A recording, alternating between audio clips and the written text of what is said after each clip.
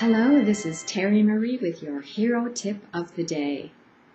When you are motivating someone, encourage them, don't force them.